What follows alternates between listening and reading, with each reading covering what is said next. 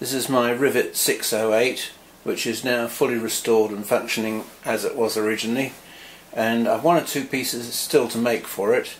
Um, I have got um, some new screws to cut for the little bevel, bezel that runs around here and the screws are absolutely tiny. They're um, equivalent of M2 I suppose. Um, they uh, are just over 2 millimeters in diameter and are 52 threads per inch. Um, but the root seems to cut those okay. And I've got some other screws which I want to use for the gear I'm going to replace the ones that are on there with these with the hex head on so that um, I can tighten them with a small spanner rather than with a screwdriver. And also I shall probably fit the um, DRO to the back of the cross slide here so that if these are fitted like that I can offset the, the DRO from there uh, with minimum alteration and I can keep the original screws obviously. So that's that. Now when um, cutting screws on the Rivett um, the half nut is engaged with this lever under here and you have to push this lever across here underneath. And what that does is it locks this lever so that you can't engage it.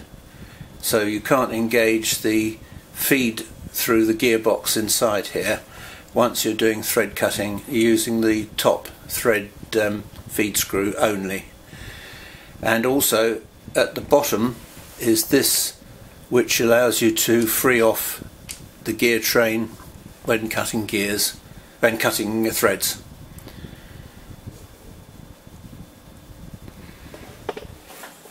And there is a dial thread indicator but actually um, I'm actually not going to be using that very much so and the reason for that is uh, because um, I'm going to have constant engagement of the thread. I found that that's the easiest way to do it. Now the other thing is um, I've got on here my um, tool post that I've recently made is um, a retracting tool post and I found that that works absolutely brilliantly. That's really good. So in combination with everything else on the lathe, uh, thread cutting is actually quite easy. Um, I know a lot of people are daunted by thread cutting. Um, now I've got underneath here, just this back a bit, there's a gearbox which gives me two speed gears there I have to be a bit careful that I don't engage um, fast speed when I'm doing thread cutting by mistake. So I put a little wooden stop in there just while I'm thread cutting so that it doesn't engage it. And then down below here I've got a, a frequency drive and that enables me to switch into reverse by pressing the green button uh, while it's running. It then stops the motor and then puts it into reverse which is quite handy. So the, the uh, method of operation is to constantly engage the gear train,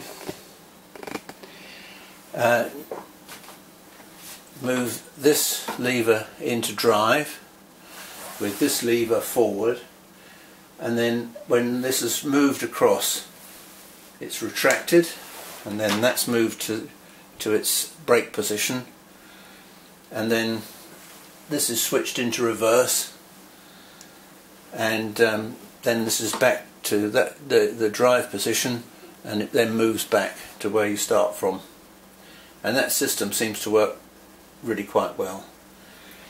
Uh, the gearbox settings for tooth cutting are very straightforward, for gear, thread cutting are very straightforward. I've set up here to cut uh, 52 teeth on that setting and they're marked on a little scale here. There's 13, 26, 52 and 104 threads per inch. And then underneath this is the drive for um, the gears for forward and reverse and this is the drive that engages uh, the normal forward position. And the Rivett like these rather nice um, sliding gears. Um, and that runs through that gear there. And the alternative is to move this in and um, put it on the smaller gear. But at the moment that's set for that gear which is correct. And there's a pair of gears underneath this cover where I can slide them in and out to provide extra gears as well hence where the um, each one of these on the gearbox here shows as four different speeds for each for each position um, because there's the two positions of this wheel here and the two positions of the wheels behind there. Um, the other thing to remember is that behind here you have to engage these two together via this sliding gear that's only used for thread cutting. Right, so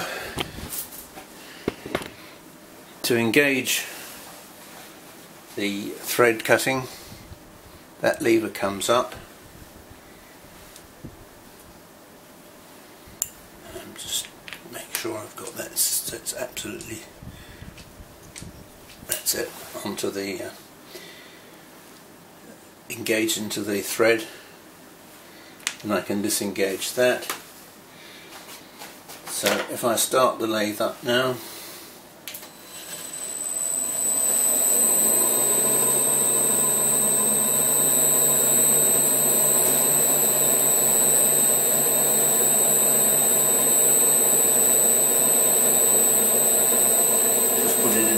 reverse so that it doesn't go towards the chuck. So that goes away from the chuck in reverse.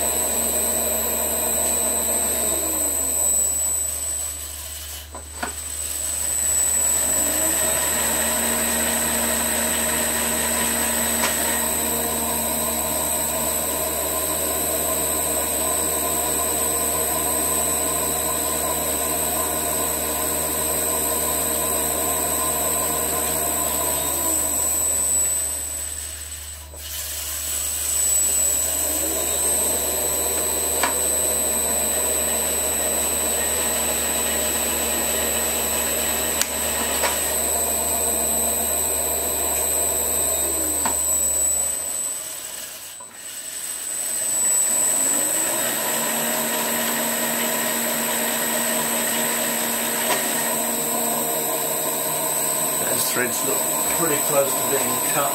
Just check, make sure that's run right up to the outside. That looks good.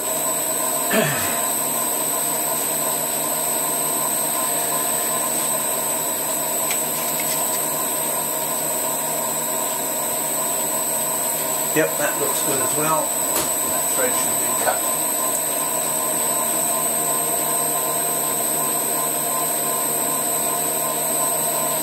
Just see if I can get the camera down a little bit closer just so you can see the threads. I know I've got a problem in focusing down as low as that. So was that.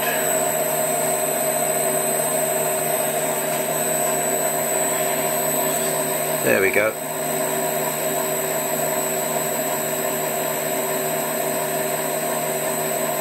that's 2.3 millimeters or thereabouts and I'm well pleased with that. So I've got another four to go